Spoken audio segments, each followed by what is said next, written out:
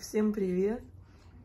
Сегодня я хочу вам ответить на такой вопрос, как почему у меня остановились видео по эко.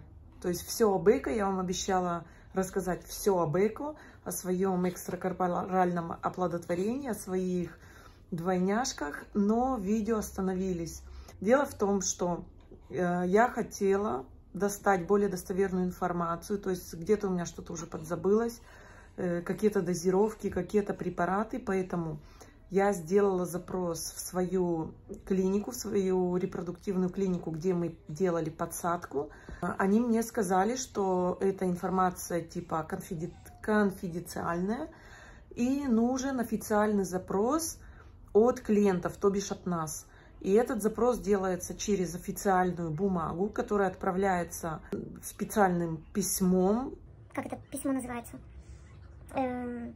Короче, специальным письмом отправляется на адрес клиники, запро... Э, то есть это запрос, в котором я прошу отправить мне мою историю болезни.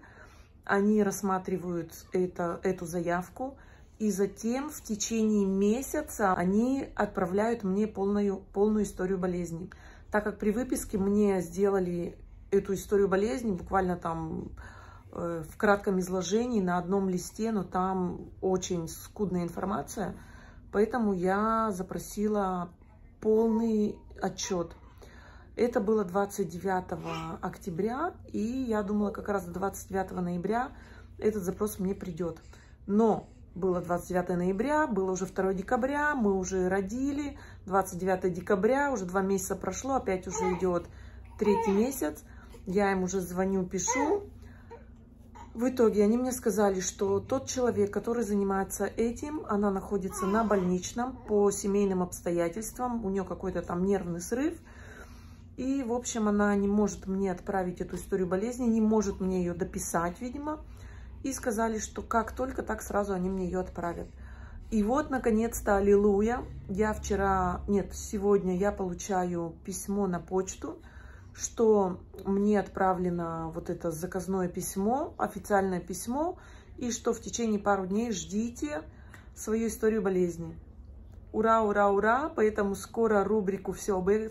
Все об эко» я продолжу, а пока вы можете задавать свои вопросы в личке в Инстаграме, либо под теми видео в Ютубе, которые уже сняты.